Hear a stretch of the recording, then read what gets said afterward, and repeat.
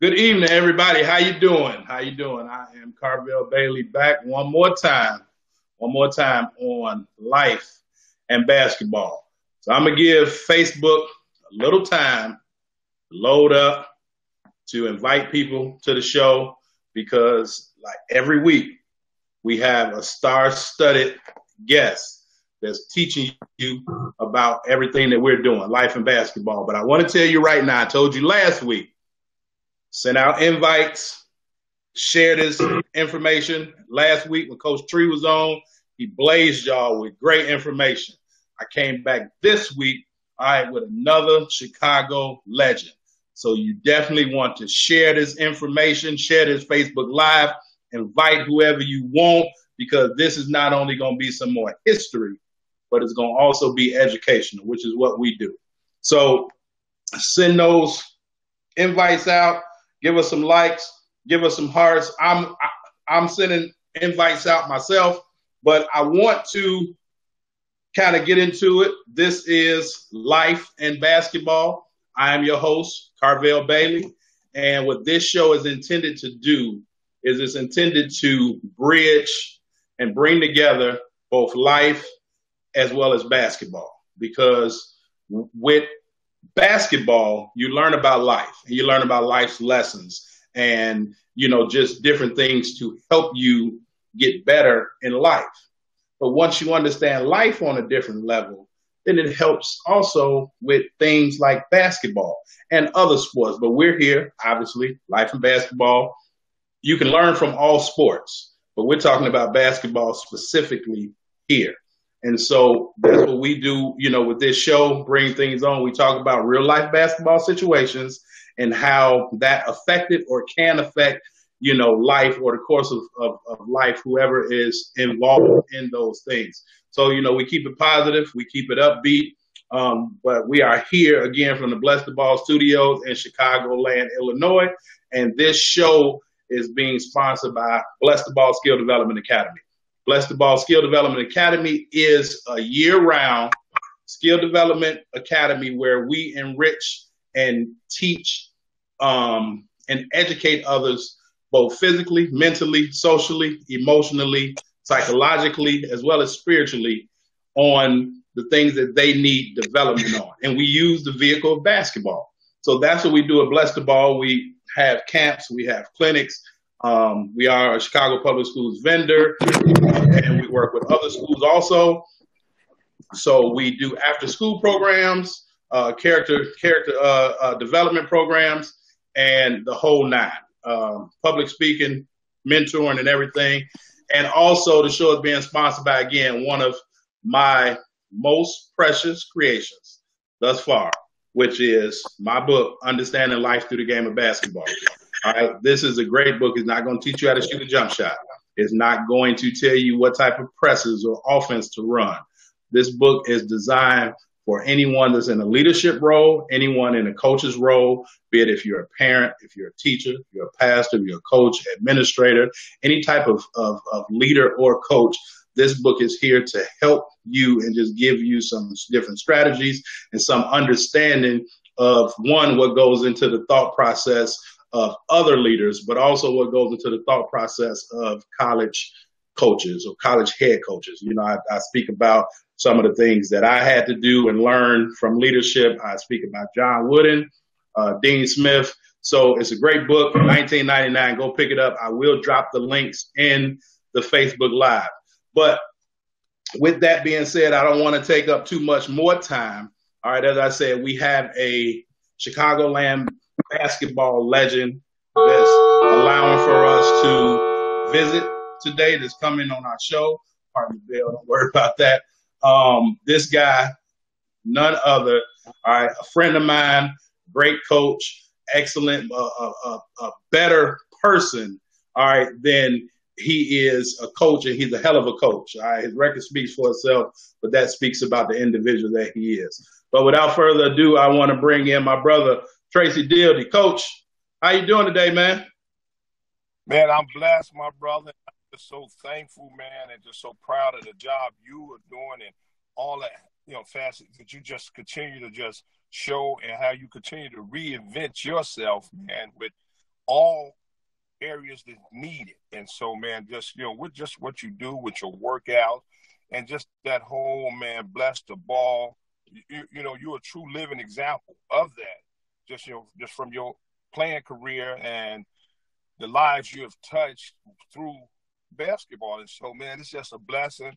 Um, you know, people say legend and people say good coach and they say good person, but first and foremost, man, I'm a man of God and I'm an unapologetically uh, Christian, and so uh, you know, strong faith and and my joy comes from the Lord. So, man, um, just blessed any opportunity I could, you know, just get on the line and I could share some of the things, you know, I know or some of the things I believe. It's always a blessing. And then yes, when you get, oh, you, you you never in the game of basketball, you never stop learning. And right. you know, man, I'm born Chicagoan. I'm a Chicago through and through. Um, you know, had a great career growing up.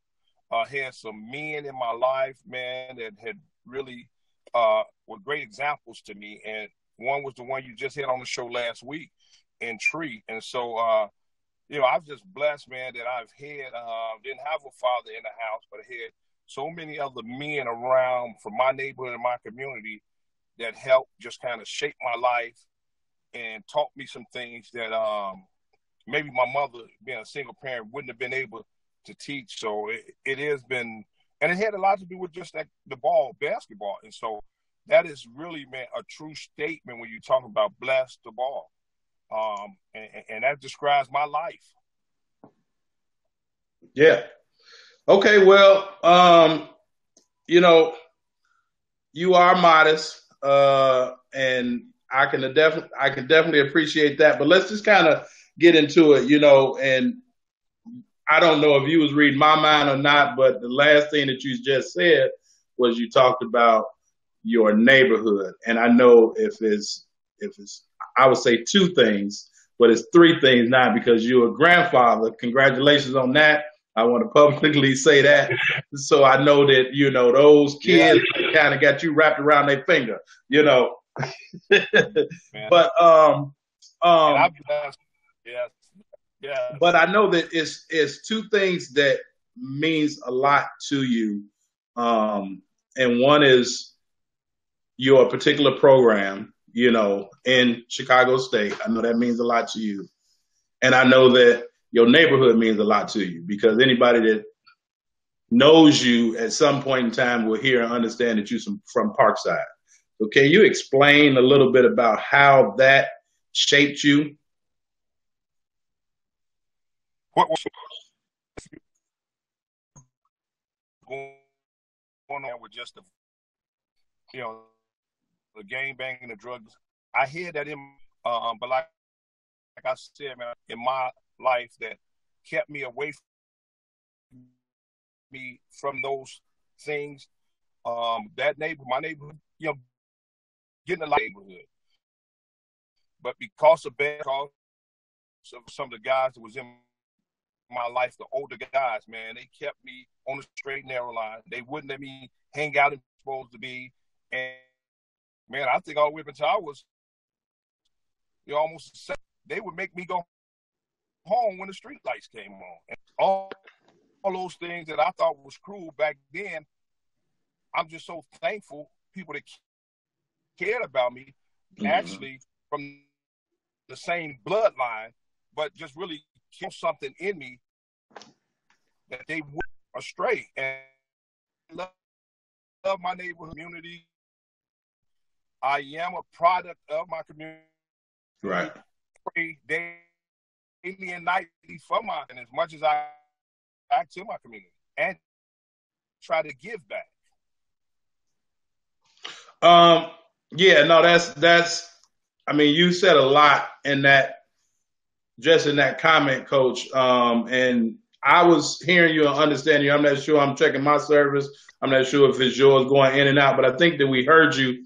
But now, what I took from everything that you said was that no matter no matter the circumstances or the things that went on inside of the hood or or you know different people situations, it was still standards because you had to go to school. Like you was a shorty, you know, you you couldn't get in trouble. So as in life, the same way if it's on a basketball team, you know, in in in life, you know, I'm 42, so obviously I'm younger than you. I always say that I'm the last of the old school generation. Yeah. But it was like rules and standards and it was really no gray area. You know, you you kind of did what you were told as opposed to now a lot of times the kids do what they see and not what they're told. When when when we came up it was kind of do as we told and and and, and not as we see you know? So you you one had to deal with the standards of that neighborhood, but then you were also held accountable. But if you didn't do it or not. So can you talk about like just just just that uh, uh, accountability portion and like how that you know without going all into it, but how that accountability portion? Oh man, I better be in school. They go, you know, the guys they're gonna get on me if I ain't where I'm supposed to be. Like how did that help you as you've progressed in your life, not only your career, just being accountable. Great, great word example because you know my man, I had a older brother uh, who really they were doing the right thing, and so they were a great example. But what really got my attention was when the guys that I would see school, go to school, and the ones that uh, was drink smoking was the ones that told me they better not catch me over there doing what they were is straight in line. I was a part of that generation. Right. Not what it is you see. Uh, so that man, and um, the love and the concern that they had for me saw in me this pitch you to do something bigger and better. For my neighborhood, you know, I love my neighborhood, and I and I thought we had the best basketball players, the best mm-hmm. uh, game bakers. So, so I would argue, and uh, it just really laid on in life as you know, back on those things, you get to saying, man, if he would have done, what up would I and so I'm so thankful to guys is you know still in jail and guys getting out of jail and you know get rest in peace. And they all had a hand on shaping me. Right. I was the person where it took a village, and I was one of the um the ones that was saved through the village. Okay, now um, give us some of the good, some of the great basketball players that you can name, and I know you probably got a lot of them. But give us a few basketball players that came out of Parkside coaches. I know you're saying a lot of great players came out of there. Share some names with us so that people can just kind of get an understanding of, you know, your neighborhood. Like last week, Coach Tree and I talked about the great basketball players on the south side, the great players on the west side, kind of what the difference is in the two. You know, but Tree made a powerful statement. If they working together, they can be unstoppable. And we'll get to that in a minute because I know that you played alongside, you know, some guys from the west side and different neighborhoods, and y'all were unstoppable. But give us some guys that came from Parkside. Well, you know, man, I got to start with my was no longer here. Uh, the best players that ever come out community. Guys like like Cardale, who whose name was Minnesota. He actually went on in basketball at the University of Minnesota. Gilbert Thompson, who played it out. The guy Luke Coleman is a guy that's around the city now who actually is working guys out. And I'm sure you know Lewis Coleman, but Luke yeah. Coleman, his brother Martin Coleman was a guy that had a trial with the San Antonio Spurs. Um, you know, so, so, the list goes on and on, man. You talk about Donnie Kersey, who's a good mm. high school coach right now. He's from my neighborhood. He had a younger brother named Brian Kersey. Okay. Also from my neighborhood. And then when you talk about uh, one of the young up and coming coaches who's over at University of Illinois right now, Ron Coleman that we call Chin. He's from right. my neighborhood. Okay. Javier okay. Musa, uh, from my neighborhood. Uh, Emmanuel Dildy, my nephew, who's the assistant coach at Valpo, you know, neighborhood, uh, really good player in the name of uh, Eugene Morgan, who started at CVS and went on and played out in Alaska Anchorage. And so, man, the list goes on and on of the guys, and and I don't like to start naming because you end up leaving somebody out. And, and, and, probably the best player from our neighborhood, man, this guy probably was by the name of Harold Poston, who mm. never played college basketball. Okay. Phenomenal. And he was one of the guys that would go on the court and if it was going to 32, he'd probably score 20. And then right wow. after the game, he'd go right over there and get him a 40 ounce.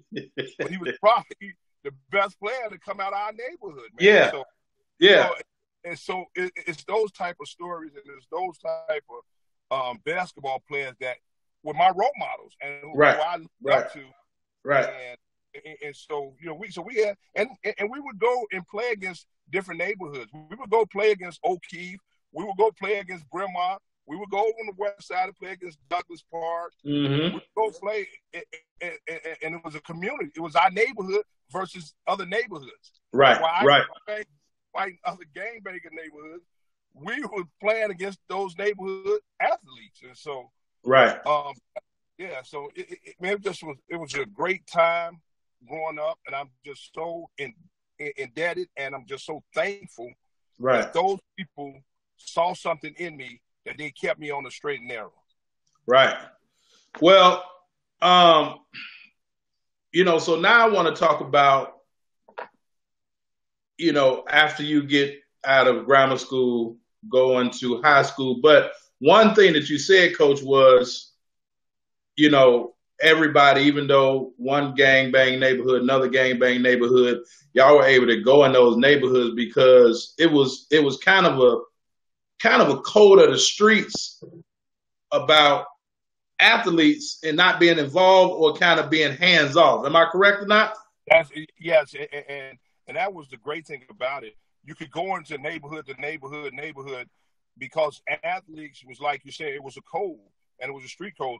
When the athletes they were protected, and, and and so you know, man, and that's something that has really disappointed me in just over the last you know five to ten years. Yeah, it was a yeah. time when the athletes was off limits, right? And you know, and, and, it was rules, and it was you know, yeah, etiquette to the even to you know the street stuff to the streets so, exactly. So now, you know, just to see that, just you know, it's no.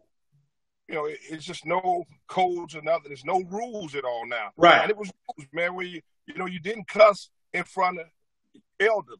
Elders, exactly. You, you know, man, certain things you didn't do in front of the church. And just to see all those things and all those past rituals just go just thrown away. Right. Yeah.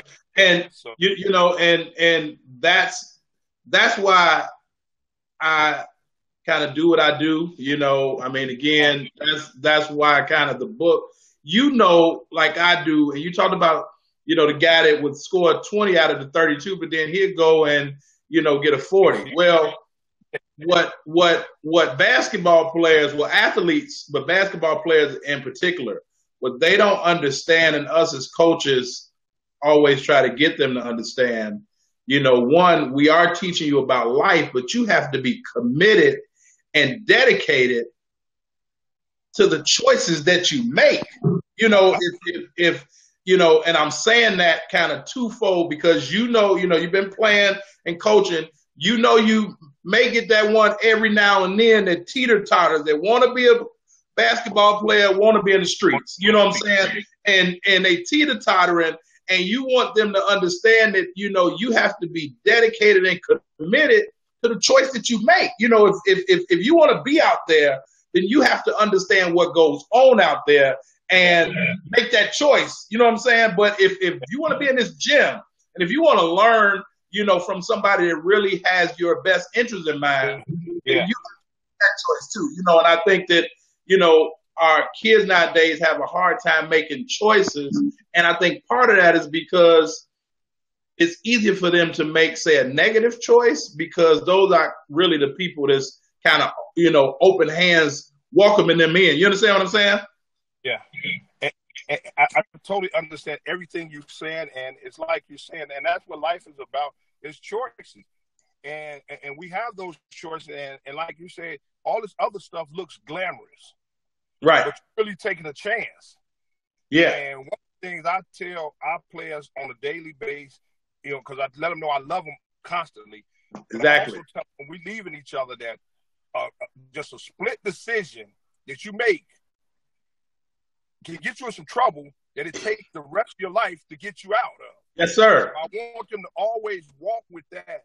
That man, this decision, it could, it, it take me a second to get into it, but it could take me years and possibly my life to get out of it. And so that's one of the things that um, I tell you. And just as you see in a community, man, um, you, you, know, it, it, looks good, and you know, you see the people with the fancy clothes, the fancy cars, and so that looks entertaining.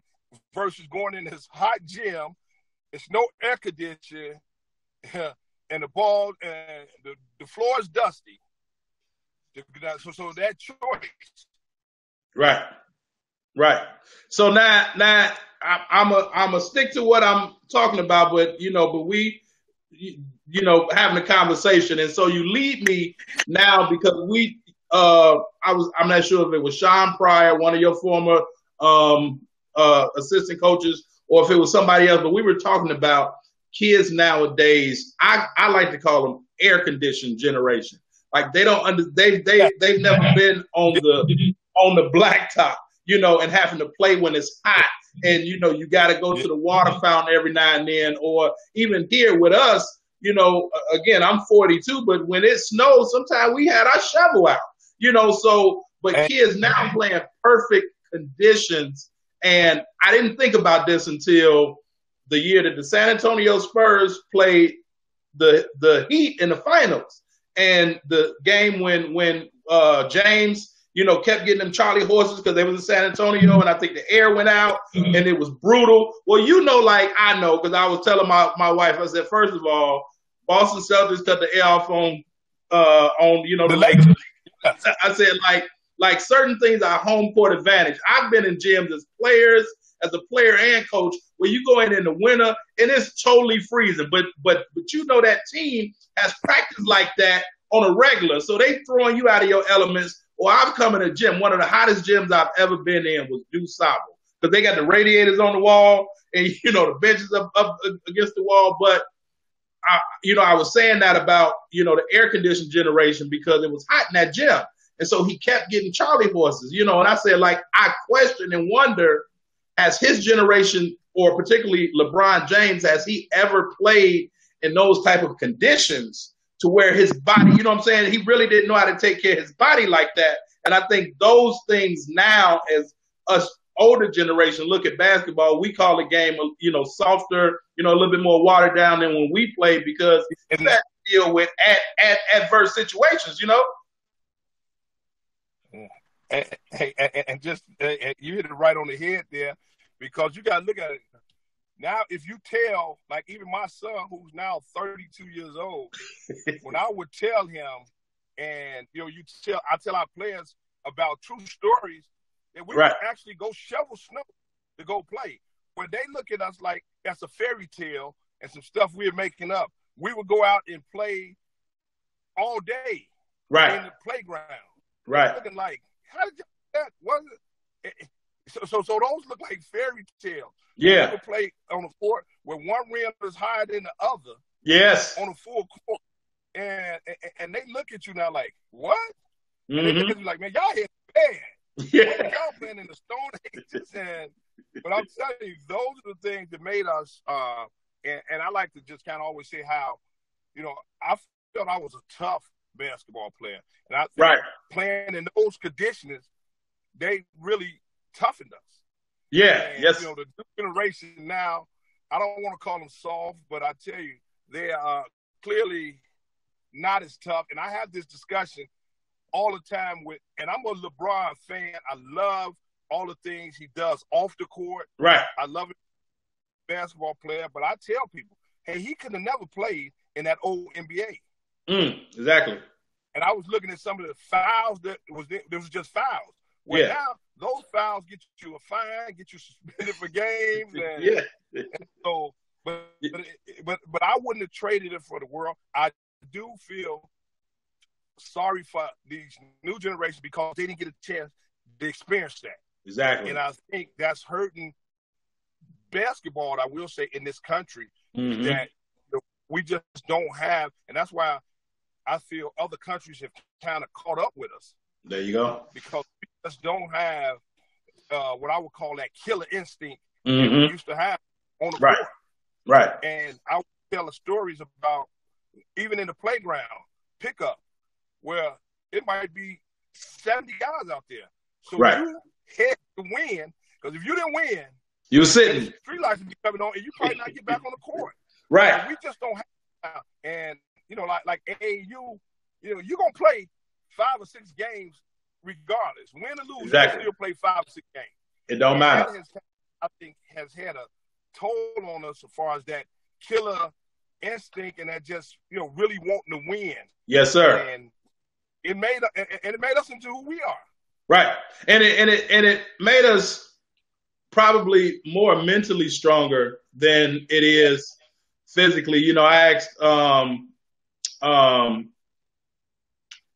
Brian Notary, the, you know, the other day, and we were talking about him. He was a guest on the show, but he was just saying how, like, it's not a kid in the, was not a coach in the country that won't take a Chicago kid. And, you know, I mean, you've coached all around the country and, you know, I mean, you've been able to come back home and, you know, get those players. But I think the mental toughness more than anything out of all of those conditions has helped us. But speaking about mental toughness, coach, we know that you went to Martin Luther King High School. Um, I'm not going to ask you like year by year, but how were you all able to be so good at King? Well, I can tell you one one thing for sure was, uh, and I like to, you know, um, I had the opportunity to be one of the first players ever to start varsity as a freshman. Mm-hmm. You know, so the, the, trend that everybody's doing now, I kind of was a part of starting that trend. Right. A starter on a varsity team, and not just a, but one of the top varsity teams. Right. My four years there, we was ranked number one team in the nation on two occasions. Mm-hmm. And you know, a lot of has to do with man. We had a coach that don't get as much credit as he should, but he still was one of the best coaches that I've ever played for. And not only was he, what made him even better was that he was also a father figure. Mm. And what people didn't get to see about Coach Cox was the love he had for all his basketball players. Mm-hmm. I'm telling you, man, the man would go way beyond the call of duty and was always there when one of his you know student athletes needed him. Right. Always. Right. And he was one of the guys. If you didn't go to class, he had a paddle, and he also wore a ring. Right. So if he caught you missing a class, or a teacher said you wasn't in class, exactly, well, he was going to wear you out right paddle or this. And so you know, he he he he put that fear in you, right, and also allow the freedom in you to get better and explore and mm-hmm. to enjoy and have fun with the game. Mm-hmm. Coach mm-hmm. is the most underrated coach this city have ever seen. Most mm-hmm. underrated. Okay. Okay. And, yeah. See, and I mean, if you say he's he's most underrated, and I look at him like, you know, I mean, a lot of people know who he is, but um, you know, listening to you, it sounds like, you know, you may can't say it, but I can say it. It sounds like what you're saying. Anything other than one, he underrated, you know, because he he he was was that kind of guy. And I think when you talk about the tough love, you know, not only you know now now we're talking and and you know I was actually explaining it a couple shows ago that it was you know because Note Note was talking about Bob Hambric, and I'm like, you know, you have some of some of these older coaches that has always understood that life, you know, basketball is, you know, or life is bigger than basketball. So they tried to raise you as a straight up strong young man, and yes. they were using basketball as that vehicle. So I'm just kind of picking up the torch and you know going going with it on the, based on the things that I was taught. But yeah. if he's going to wear you out, you know, you know, I, you know, when I used to go on parents' house, I used to always tell their parent, listen, I'm not gonna, you know, I'm gonna hug your son when he need a hug. I'm gonna kick your son when he need a kick. But I'm not gonna hug your son when he needs a kick, and I'm not gonna kick your son when he needs a hug. I like and, I like Yeah. So so you know what you were saying about Coach Cox, what what y'all probably didn't understand at that time was y'all was a representation of him too. You know what I'm saying? So yeah. if if you know if if if y'all didn't act accordingly in class, well now that's making him look bad. You know, and especially if you yeah. all are are was of the level that you are, yeah, even though if you know you you have people that that like success, but then you have a lot of people, and it's just human. You have a lot of people that resent people for the success they had. So just as many people at King that was probably cheering you guys on, I'm probably sure it was a, a group of people that was waiting on y'all to mess up so y'all can get knocked off that pedestal. Yeah, and, and, and you got to look at you know, in in four years as a starter on varsity, I lost a total of eight games in four years. Mm. You know that, that, that's winning. And the other thing with coach, man, like I, I, I tell you, coach biggest thing was now he also, which was the best, and I wish it could get back to that. Every day in the summer, we were with him. Okay. He would pick us up. This in the summertime. Right. He would pick us up at nine in the morning on. I'm talking about every day when we out of school. Every day on at nine o'clock in the morning, and you was with. And he'd drop you back off at home, probably at nine o'clock that night. Mm-hmm. We would practice. We would be playing in two or three different tournaments, right. but you was with him every day. And that's what people don't realize too when you talk about kind of the old school coaches. Now, he was married and he had you know he had a daughter, but he was with us, right? More than he was at home. Mm. Now that imagine that sacrifice there. That sacrifice right. alone says it all. Yes, and that's what you know. It, it, it said it alone, and you wanted to play for Cox because what he's going to do, he was going to give you a lot of freedom, right, on the court within the team structure. Exactly. Now, you going to go off and be on your own. Mm-hmm. You, you, you're going to get it. Remember, he played with two seven footers in right. high school. Yeah, and they both were exactly. So, you, that, and they both was happy. And yeah, so, man. You know, I think about it. That was um, and, and, one of the things that stick with me right today that he used to say, um, I was his point guard, and then as a freshman, he babied me. But as I got older, now I became like his whipping boy.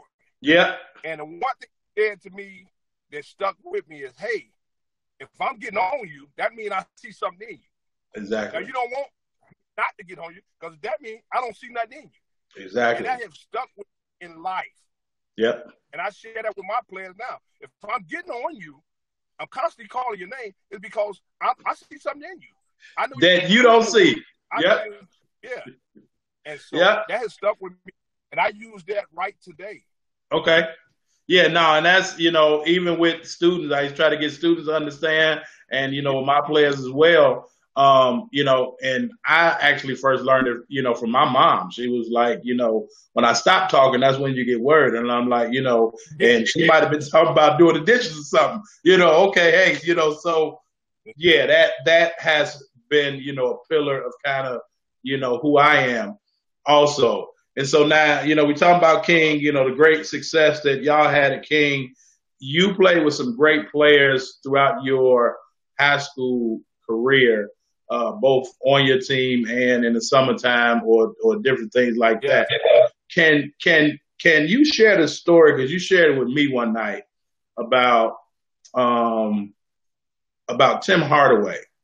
You were saying like y'all was on y'all way to a party or something. Can you explain that story, please? Hey, hey, hey, let me tell you, and I got to think of it like, and I, I share that story with our players too, right today. And this was man, we we talking about this was in '83. This was the summer. Actually, this was the summer of '84, and me, another guy that was a legend who played at High Park. His name was Gerald Haywood. Okay. Me and Gerald Haywood, actually, now both of us ranked higher than Tim Hardaway when we was in high school. Right. And earlier that day, we had just played pick. We played basketball outside pickup. Me, Gerald, Tim, and all of us. And so we left. Me and Gerald went home to shower because it was gonna be. It was a party at Bendu that night. Okay. And back in the day, Bendu's hit the best Jumper. parties. And Yeah. we went home, got changed, got dressed, and we got back together, me and Gerald, and we were on our way to the party, and we were driving past the playground that we had played in earlier, and the lights are on, but it's dark, and all you do is hear a ball. And so me and Gerald is wondering, like, who's out there? Right. Well, we're on our way, it's about eight or nine o'clock at night. Me and Gerald laughing and teasing Tim because he he out there on the court playing ball Right. his game. And me and Gerald laughing at him and this and that. And we going to the party. Well, 78 years later, when Tim Hardaway the one who makes it to the NBA, Right. have a long, great NBA career, and Yeah. is going to end up being an NBA Hall of Fame. Hall of Famer. Yeah. I tell that story to all our players while we was laughing and joking and teasing him when he was on the court, and in the end, it all paid off. And one thing we know about basketball, whatever you put in it, you're gonna get out. You Hey, can't cheat if- the game. You can't. You can't cheat. And when you gonna go that story Yeah. And you know, and you know, I always say if you do the work, the results will come. You know, but not what that story said to me was, you know, like a couple things. You got to be dedicated, but also you have to be wired a different way to really not mind or not really care of about to what's what other people are doing Peer and what pressure. other people thinking. Right. You know, the peer pressure you know, because Yeah. you you you have to be laser focused, and you know, you know, as you said, Tim was might have not have been ranked as high as y'all, but he was working because he understood that you, you know that he was trying to do something um, special, you know, which you know he he he definitely did. Great player, you know, people Definitely. Understand run TMC. You know, I tell all these new kids they just not getting on Golden State Warriors. They don't understand the Warriors used to be fun to watch when they had them dudes. What- Yes, yes, yes, yes, yes. But now, So, and, and, that's it. Story. now you know we so you know now we we tell the Tim story, and so the I, I- I'm I'm actually about this because you know when I did a quick advertisement about you being on the show, I actually took one of your pictures from the Boston shootout, and it's a picture in there. I know you, Lowell Hamilton, you know a whole lot of other guys. Can you kind of explain what the Boston shootout was and why that was so special? you know, because it's, you know, I know when I came up, you know, myself and John L, you know, even, you know, Kenny Williams and, you know, all those guys, it was like the Prairie State games. It wasn't really AU. But can you talk about the Boston shootout? Boston Shootout was one of the best that, and uh, Ruben Norris was the guy who coached us. Oh, you know, a, a great referee. right. And what cities would do, your major cities, they would get the best players from each city, and we would meet in Boston, and they would Mm. have a tournament. And so you had Chicago, you had L.A., you had Houston, you had uh, Chicago, L.A., Houston, Atlanta, you had Boston, you had New York, and you had man. So all the top teams, and we all meet in in Boston, Okay. and then it, it was a big tournament. And, and so it was just a great experience. It wasn't AAU basketball. It was, hey, you know, we- these is the best that we selected from the Right, Chicago right. area. Right. And we one team, and we would go and play against the other teams, and that's what the other cities did too, man. And which it was great. You went to Boston. Uh, Boston did a great job in sponsoring the event every year, and um, it, it was fun. And our team was special. We had Tim, me, Tim Hardaway, Lowell Hamilton, Gerald Haywood, Mm. um, my assistant coach James Farr, Okay. Melvin McCants. remember Melvin McCants and James Farr had just won the state championship that year. Right. Mark Carmel. Right. Then we had big uh yeah, Jerry Jerry Jones. Man, we had a great team. Tony mm. King. And, okay. and it was guys from the south side, the west side, the Catholic League, the public league, the suburban. And it was just man, it was a great um event. Anthony Emmanuel, who was another really good guard at that time, was supposed to be on the team. But during that weekend, he had a visit to Georgetown. Mm. So, uh, yeah, but that was a man. It, it was a great team assembled, and we end up losing to a New York team. Okay. Who was coached by Nate Archibald. Mm. And the same team was the team that lost to Michigan in the championship when Michigan and Seton Hall played in the championship. Oh. The green kids. There was a, a, bunch of them kids on that same. Okay. Okay. Okay. To beat us. Uh, wow. Yeah, in, in, yeah, in 85. 85. 1985. Um, and so, you know, so after that, you know, you take your talents to San Diego. Um, you know, then you you you come back home to UIC and play. What was one of the biggest um, learning curves or things that you had to learn? I mean, from Chicago to San Diego, still kind of big city, big city, but just from high school, even though you were a star-studded athlete, like in terms of college as and basketball, because when you're in college now, the pace is faster. You know, you got to think quicker. You got more responsibilities. But what was the kind of the the most challenging thing going from high school to college and being, you know, out in San Diego? The, the, I'm saying the most challenging to me that um, the fact that I was away from um, I, I had played high school ball in grade school, and basically every game I'd ever played, my mother was there, my mm. sisters was there, you know, other relatives was at the game, and so then now to go out west to San Diego, which is a beautiful city, a great university, I had fun there. It's just really homesickness settled in. Okay. Um, and not looking at fans and seeing those familiar faces, it really, it, it, you know, it was tough. And, and so, you know, I, I came home. The thing that when I was coming out, and which is the same thing I think a lot of student athletes, a lot of basketball players and football players, when they come, the first thing they get to thinking in their mind is, "Hey, I want to get away. I want to get away." Right. Well, as I older, I realized really what I was saying was, "Hey, I just want to get out of my mother's house." Exactly. And so then, that's what I'm saying. And so, yeah, uh, when I was able to transfer back to UIC, I was living in the dorm, and then I headed back where um, my mother and my sisters and my relatives was all coming back to the games at the Pavilion. So right. really, what I was saying, and I tell guys in recruit today is, you know, when you say, "Hey, I want to get away," what you really said, I just want to get out of my folks' house. Right. So if I go to a place where they got the dorms and I ain't got to be living in my, and I got my, you know, that's really what I'm saying. Right. I ain't really saying I just want to get out of the city. They say right. I just want to get out of my people house. Right. So I try to explain. I was a victim of that. Right. And then I came back and it was just like my high school days, man. Just seeing the familiar faces and yeah. the people cheering for you, you know, really pulling for you and really love you. And so it was just man tough just being away from home after being used to so much love from home.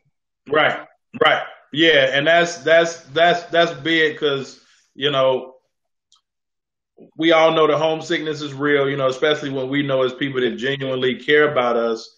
You know, but I yeah. think that that that uh, you know a lot of times.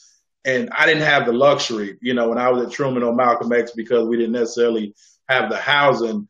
But I understood that same thing. Like you may just want to change your environment and your environment may be getting off your block and, you know, being someplace else. So if we can put you in some proper housing, if we had it away from that environment or especially with dorms, you know, now you, you kind of got your own life within a life and you know the thing with you know some of the some of the Chicago land schools. Even when I first graduated, I went went went went out to Aurora University, but that was still far enough to to be gone, but close enough to be home. And then when I got to UIC, oh, you know, I mean, we was 20 minutes from home, you know, in the south suburbs. But you know, it would be times if we needed to, like go home, you know, Friday night, Saturday morning, be back Saturday night, you know. But um, yeah. kids have to understand that the homesickness is real, and and you have to really be committed because you know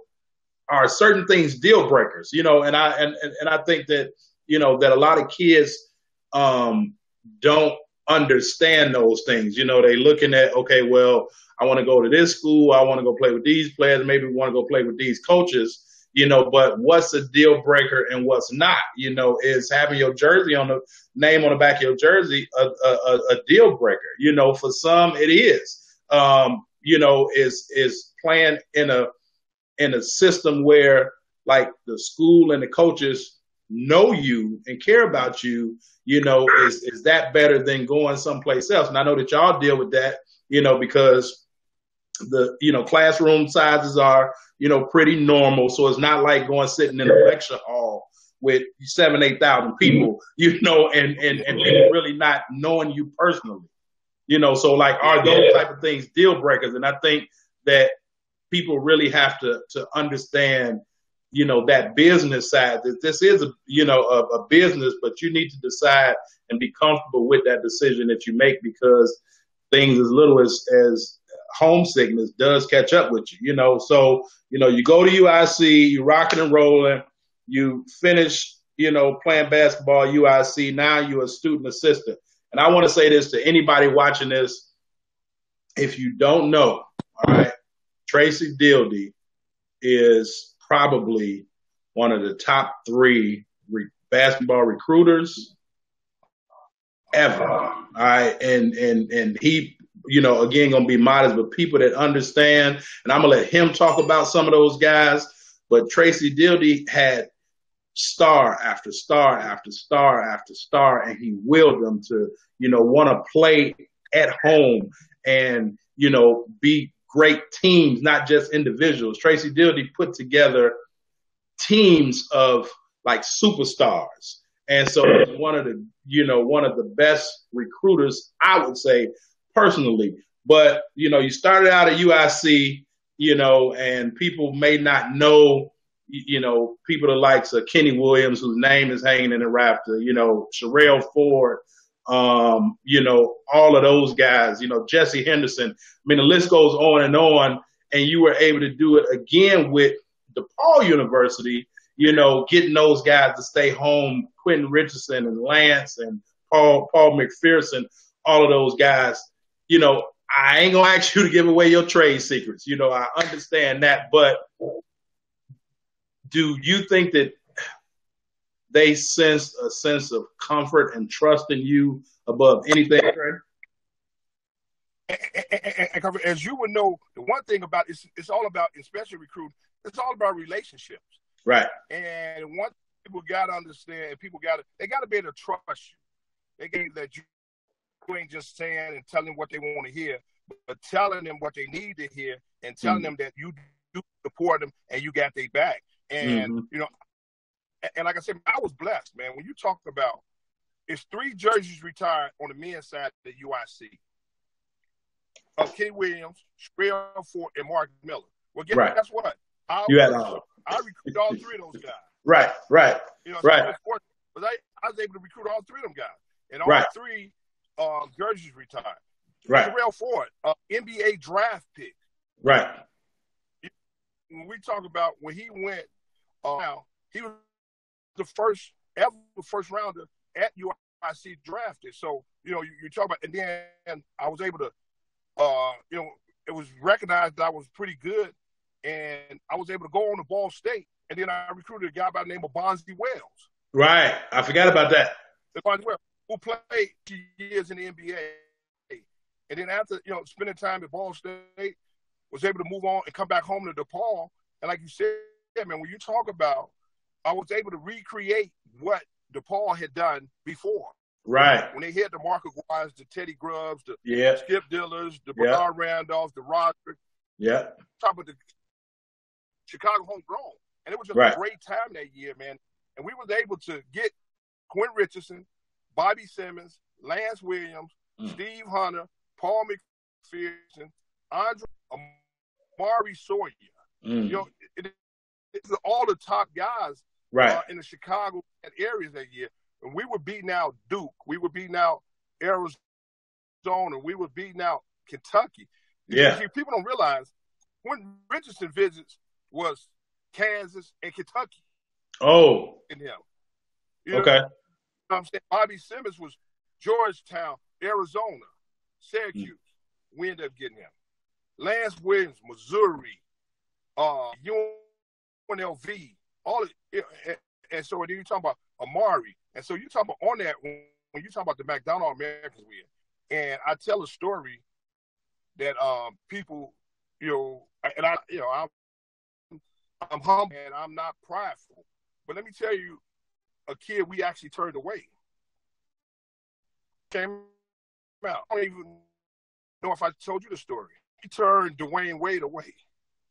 Coming out of Richards. Dwyane Wade came out the same year as Imari and Andre. Mm-hmm. Right. Now remember, Andre was all Americans. Right. Dwyane Wade wasn't all American. Right. Exactly.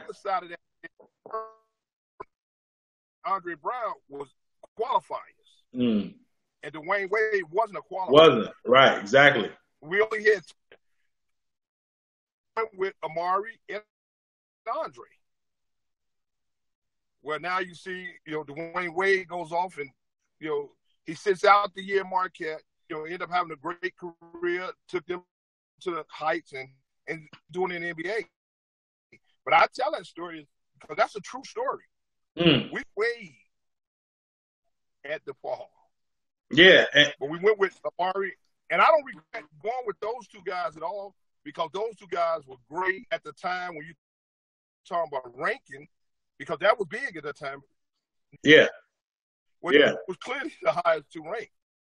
Yeah. And, and, and so you know we was fortunate, and then you know you know be able to coach the talent, and it shows that we did something right because we still have I still have great relationships. Paul McPherson mm-hmm. and, and are playing in the Big Three. Right, right. Uh, Mark, Bobby first came to Chicago State. He was the one that bought fly. Yep. Lance was the one that get a sound. All our former players have always came to me at other universities. Right. So it's so it says that I man of my word. Yeah.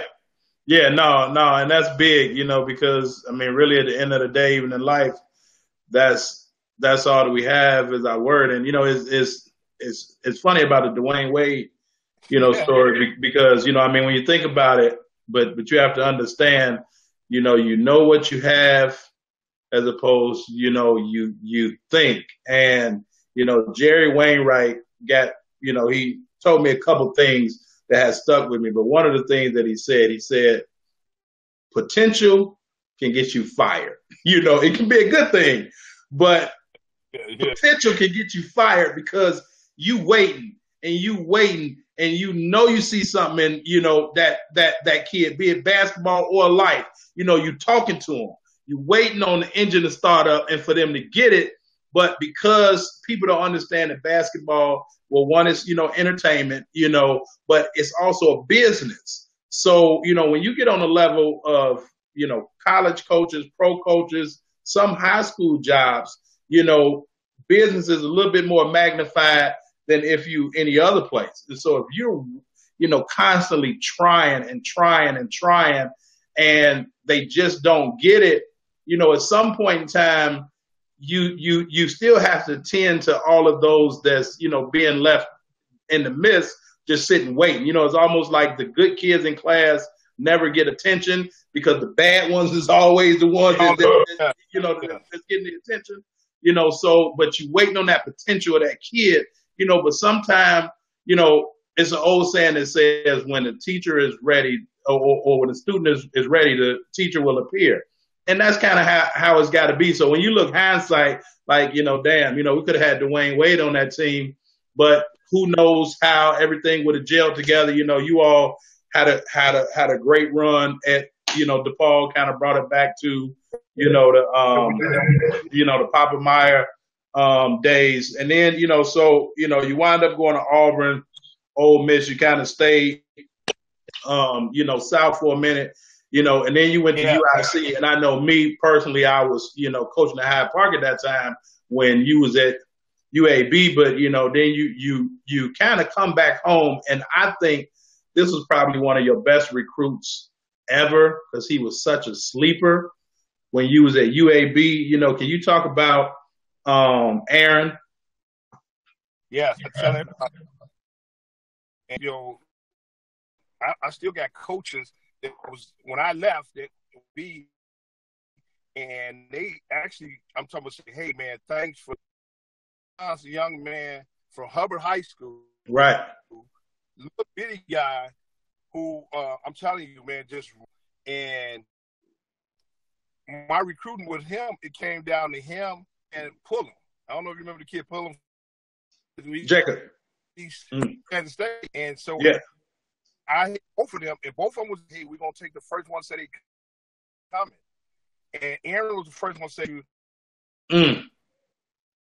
hey, man, the man ended up having such a great career. He can go back to Birmingham, Alabama. They retired. Uh, they gave him a key. He goes down as the all-time assist leader history.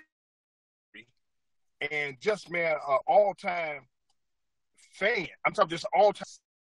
Right He one one he one of the people that was the most favorite guy that wasn't from the state of Alabama, and so man, mm-hmm. he really had a great career all conference, and that was during the time when in the conference, where he uh, ended up being player of the year one right. year was all right. conference, right? And right. during the same time, was at Memphis, and so man, Aaron he he, he still goes down it one of the best point guards when you talk about just a true point that could lead a team. Yeah. Team and direct. He, he was just a natural coach on, and you know, and he he made a whole bunch of money playing overseas for himself, man. And he can alter Birmingham. The city is wide open to him. Mm-hmm. Mm-hmm. Yeah, and I remember, man, when I was at you know when I was at Hyde Park and um, you know, it just used to be so hard to contain him, man, because you know he he was he was was an old head too. You know, his his his poise was was kind of yeah. Im- immeasurable. You know what I'm saying? Even when he was in high school, you know, he didn't get rattled. You know, and no matter what Trey, what really what like five six, maybe. Yes. Yeah. Yeah. You know, I mean, but wouldn't get rattled. And that's with his shoes yeah, yeah, yeah, yeah. You know, but you know, wouldn't get rattled, man. Just great athlete. You know, uh, very humble. You know, young, young, young man as well. You know, I think that was one of the best recruits there because he, he he was kind of slept on. Um, you know, but then you know, we know you go back to UIC. And then, you know, you wind up getting a job at Chicago State. Now, this is what I want to talk about before I talk about anything at Chicago State. Um, you know, I had um, um, um, Jamil on the show, and he, when we first started, he said my my two, you know, college coaches. You know, we were both his college coach. You you spoke about. I want to say this one thing, and then get to the question. You you spoke about Aaron being the first one to commit. And in life, we have to understand that when opportunities present themselves, we don't have all day to think about it, to, you know, pray about it. And you know to do you know we have to at some point have a little bit of discernment. And that's why i was saying even with you know the people that you recruited you know that they feel that trust we have to have a certain amount of discernment to understand if this opportunity is for me or not. Because would you agree or not that so many people wait so long on opportunity it wind up passing them by? And, and, and that happens so much more. And like you said, man, you had a word that I love is that word discernment. Right. And I know, hey, this is because we get we get opportunities we got to know, you know, when the and and that's why if you basketball right now it's a crime. We got over seven hundred that have transferred from. Yeah. And this is there right decision. Mm-hmm. whatever reason they chose, it, it, it wasn't the right decision Right. because you Right. I mean seven hundred. We're talking about seven hundred. We're talking about all like almost two for every Division One university. Exactly. University. You're talking Yeah. about over seven hundred transfers. Right. That's a, a lot of people um, choosing for the wrong reason or not knowing the best situation for them. Yep, exactly. And you know, that's that's that's why, you know, again, um plug, you know, our sponsor, Bless the Ball Skill Development Academy, but that's why we even offer parent consultation classes because you know like parents parents may not understand like what happens if a coach you know my kid signs and a coach you know gets fired or goes to another school you know what what happens you know when when this takes place? You know what is expected of my kid? And as i said you know this book is great for parents too because it, it you know goes not only in my mind but also you know other head coaches and and great people that I, you know, grew up that, you know, helped teach me. But like, you know, you have to understand that it's a it's a business side, but you have to know kind of the expectations and the rules. So if a parent gets this book, now they won't they can have a better understanding about why some of the some of the choices, some of the things that coaches may make, and it's not just oh he picking on my son or he or she picking on my daughter or vice versa. You know, like you know how come they not playing and why you treating the kid this way? You know, I'm pretty sure that you've dealt with. I've dealt with it.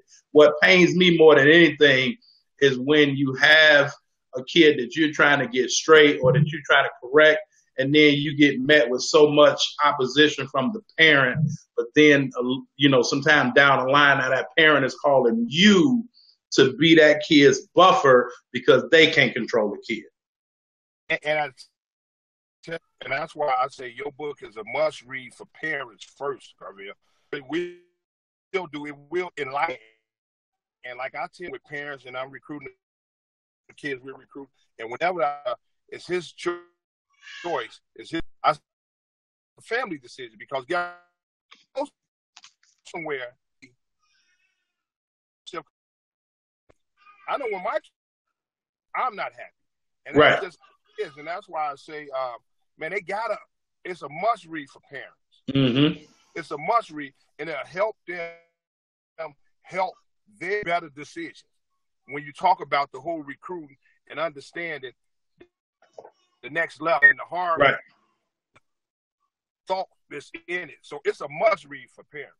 Right, right. And I, you know, I definitely, definitely appreciate you saying that. And, you know, so wrapping up, you know, I don't want to take too much of your time. Um, I got a couple more questions. Then I want to give you what we call the three hot seat questions. But now you at Chicago okay. State, um, you know, you take the school to its first postseason.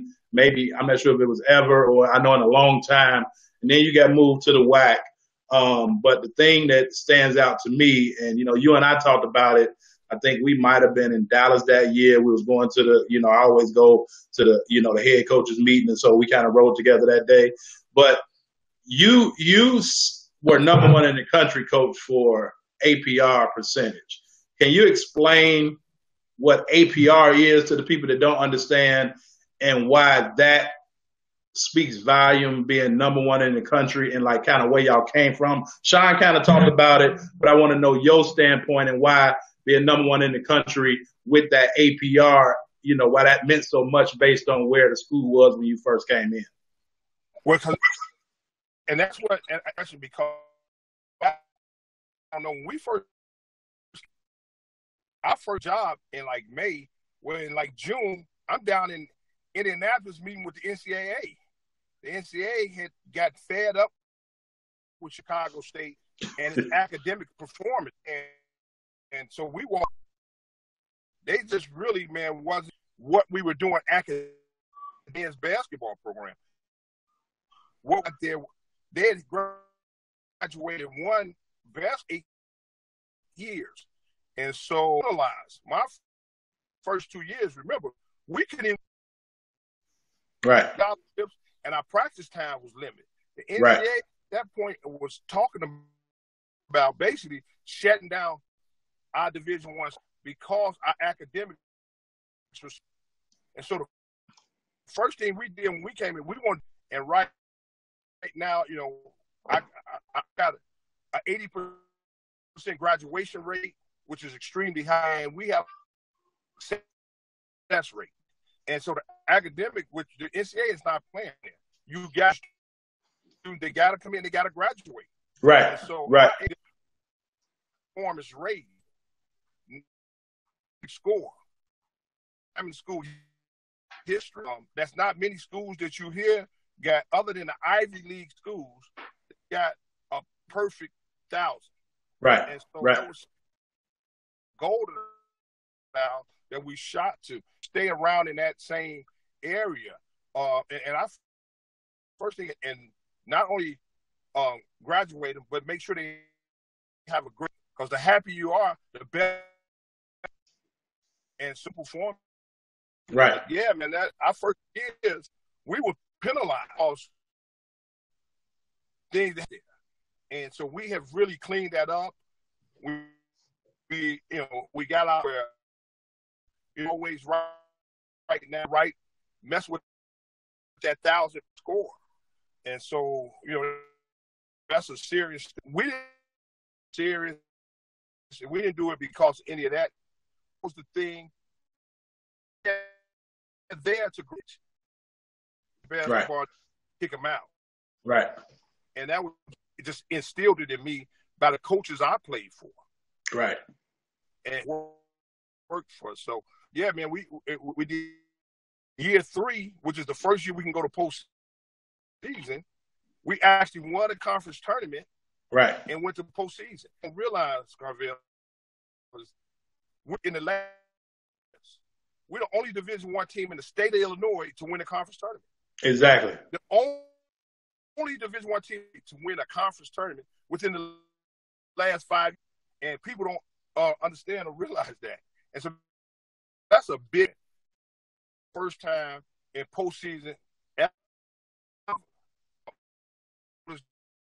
just to get back to postseason, but to get to that. Right. Um, yeah, and so you know, like people don't understand. That's why they made the word what it is, student athlete. You know, and my dad used to always tell me, "You show me a smart student, I show you a smart athlete."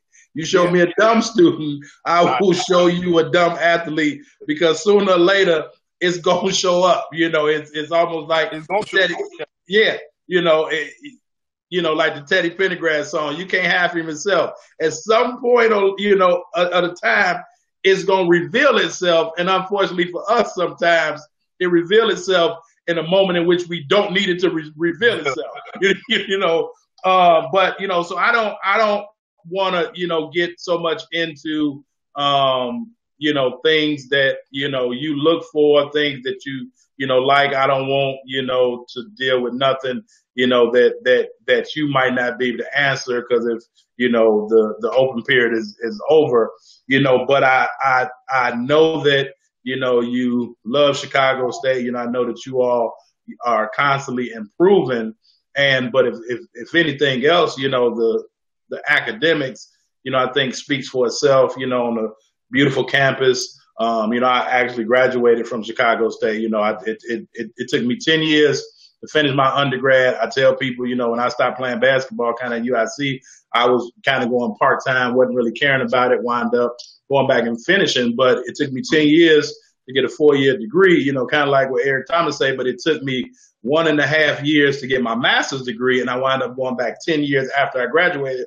So I'm not ashamed to say that, hey, I, I, I, I finished, I did what I was supposed to do, you know, but Chicago State has a wonderful, beautiful campus, um, you know, um, that's, that's very, um, what's the word I'm looking for? Very like intimate. You know, you don't have to really worry about um, you know being just in you know small fish in a in, in a huge pond. So, but I do know that the coaches at Chicago State sincerely care and put in a whole lot of work um, to get their players better. Now, I said it, he didn't say it, I can say it regardless. But now, I want to ask you these three questions, Coach, on the uh, hot seat. Well, first of all, my last question: you you you are in the UIC Hall of Fame, you're in the State of Illinois Hall of Fame, and you're in the Chicago Public Schools Hall of Fame. Um, uh huh. Do you still sit in all sometimes?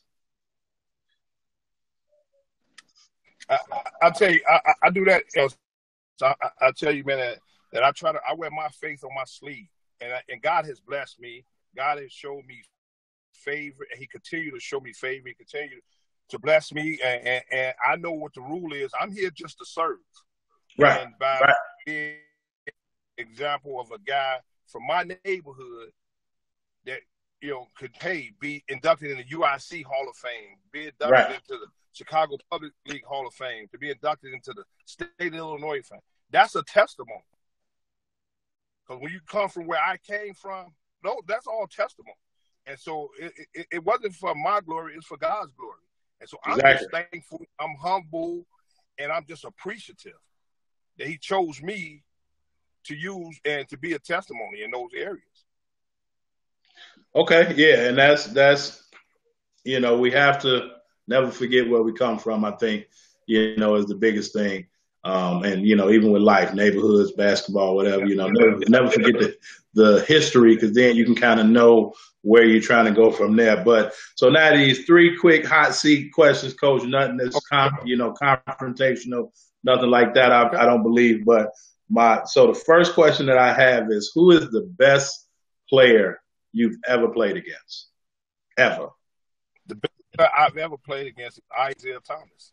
Mm. Best player I've ever played against. Now you talking about high school? You talking because in the period. summer league, no, period. Him, was, he, he's clearly best player I've ever played against.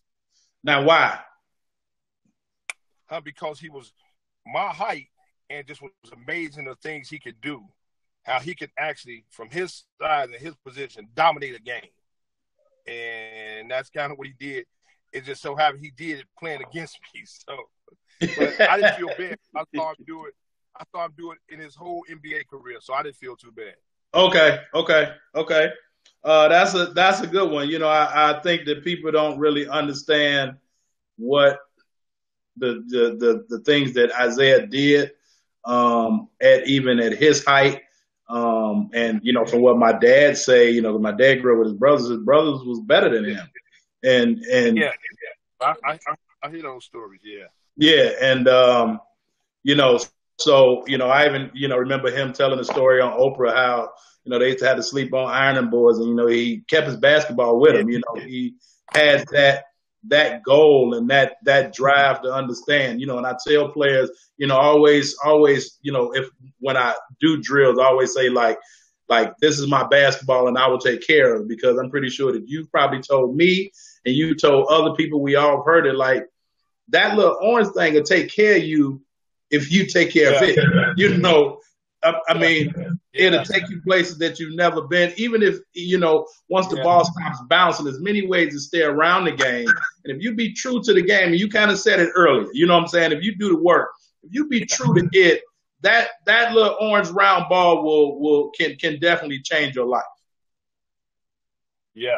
Um. Now the second question got so two more questions, coach, and we're done. I appreciate your time, but I know that you're a busy man. Um, who is the best player that you never got? Like, who is the best player that you wanted? You know, I know you talked about Dwyane Wade, but is anybody other than him the best player that you ever wanted and you never got? Well, that would have to be um, Corey Maggette. See, Corey Maggette came out that same class with Corey right, and that was okay. And he ended up going to uh, Duke. But Corey Maggette was. Imagine we would have had Corey Maggette with that group, man. And, and so right. Corey goes down as probably the best, other than Dwyane Wade, that we didn't get.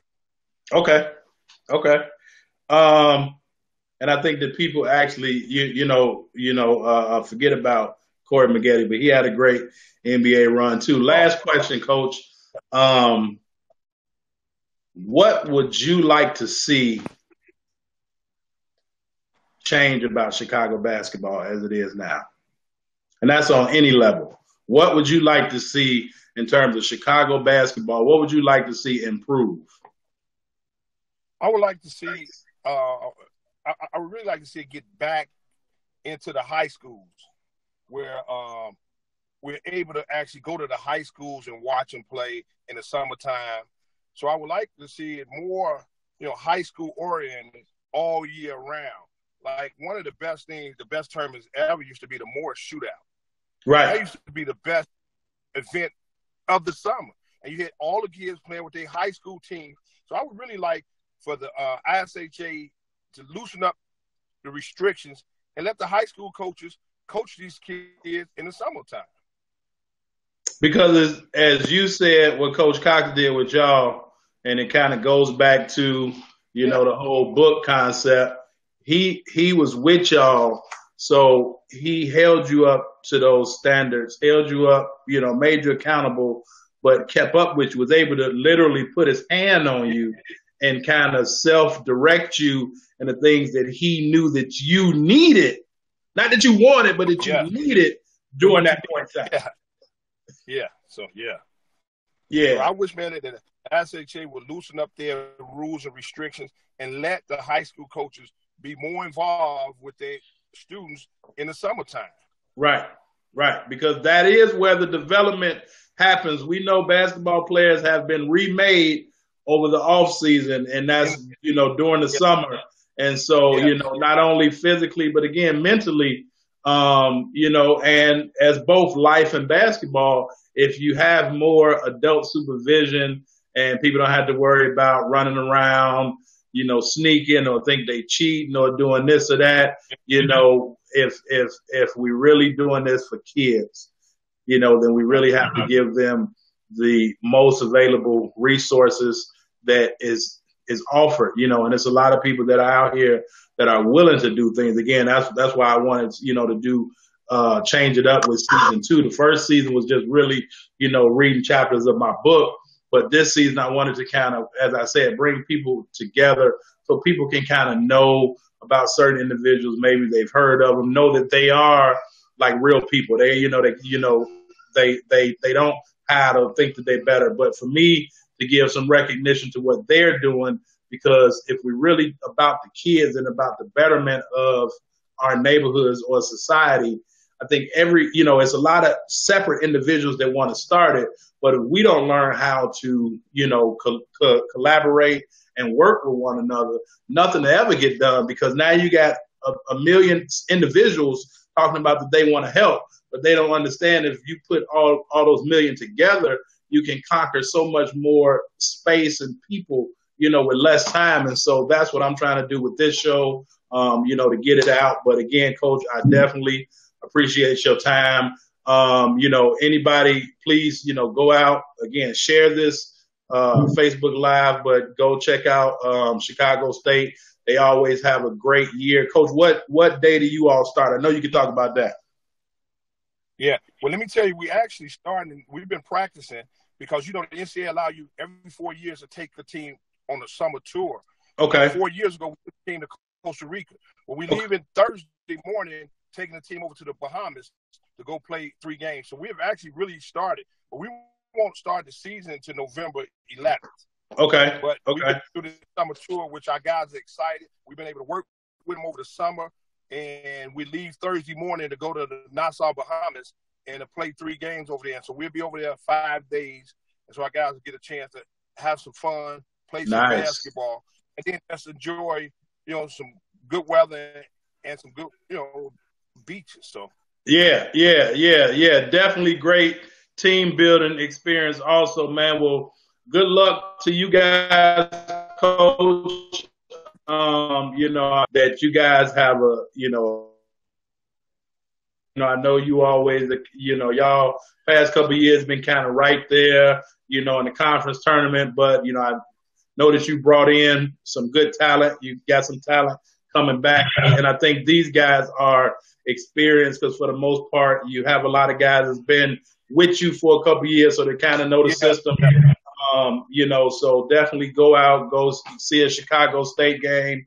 Very inexpensive. Uh, you know, you will be entertained and you know come yeah. out. You know, I mean, the thing with you know with coach, you know, you're gonna see him. He's not afraid to you know correct, but it's you know correction through education, even during the games. You know, not really worried about who's in the stands. I'm here to correct you and teach you again life based on what you just did on the basketball court. You know, so you know I'll be watching coach. You know, and you know you'll you'll, you'll look up sometime, catch me. You know, I don't you know necessarily always have to be seen, but you know definitely support you and your staff and what you try to do. You've, you know, taken a few of my players. I definitely appreciate that for helping yep. them change their lives, man. And any last words that you want to say, coach, you know what I'm saying, before we get out of here?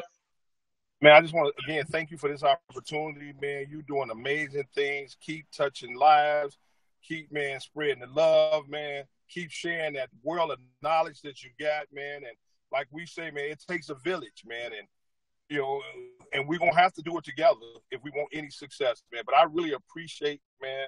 I pray for you, brother. I love you, man. And I pray God continue to show you favor and cover you and your family, man. In Jesus' name. Well, Coach, I definitely appreciate it. Amen. Definitely appreciate it. Um, there you have it, guys. Again, another short educational class. You know, you learn about some, you know, Chicago history. You know, you learn about some basketball things, and then you learn about life as well. You know, that's what we come to do with this show. And again, being sponsored by Bless the Ball Skill Development Academy, you know, you can, you can, I will drop the link, but you can reach us on our website. Again, I dropped the link. Um, it, it, it's in the links for the book, Understanding Life Through the Game of Basketball, uh, an effective, uh, guide to coaching and leadership. Uh, great book. Go pick it up. Support me uh, support, you know, the thing that I'm trying to do. Of nothing more, just, just, you know, they say readers are leaders, you know, so, you know, grab a good book. Uh, I can vouch for it. You know, it, it, it will definitely help you and help those in which you put this in their hands. As you all know, Bless the Ball is also a character um, development after school program. We also do during school programs as well. If you know a principal all right, even you, Trey, if you know a principal, if you know an administrator, you know, tell them to reach out to me, especially with CPS. We have our vendors number. You know, I know the budgets. They're always talking about that. But if we really want to improve these kids, and you know, I do have Jamil working with me, coach. Like, you know, he he said it was almost like he he he fell in love with the game all over again. You know, so if you know an administrator or principal, even in the suburbs, you know, let them know because we have a program that is is is well suited and helpful to those individuals. You know, we've had um, great numbers with um, our disciplinary referrals going down with the attendance of those individuals in our program going up as well as the grades going up. So, you know, we understand that the teachers need to teach, but the kids need to also learn about life. And so that's what we do. But nevermore, I'd like to thank you, Coach Dildy. I'd like to thank you for you know giving me the time again. To go support Chicago State. Check out Chicago State, um, coach. You know I know that you got to get home because you either got to FaceTime the grandkids, call the grandkids, see the grandkids. Some you know I see you on pictures all the time now, double breasted. You know I'm like man, he loving this whole grandparent thing, man, and I think that um, that just shows also you know the growth in you uh, with understanding balance too. You know you deal with your team, but you do give that time back to your family. So I definitely appreciate you, man. All right, my brother. Love you, man. God bless. Yes, sir. And and partner, as I always say, you should be reaching for the top because it's crowded as hell in the bottom, at the bottom. So with that being said, peace. We'll holler at y'all a little bit later on Thursday. Thursday, I got another great guest coming on. Join us back here Thursday night. All right. Peace out. Thanks, coach. See you. All right. Thanks. Talk to you. All right.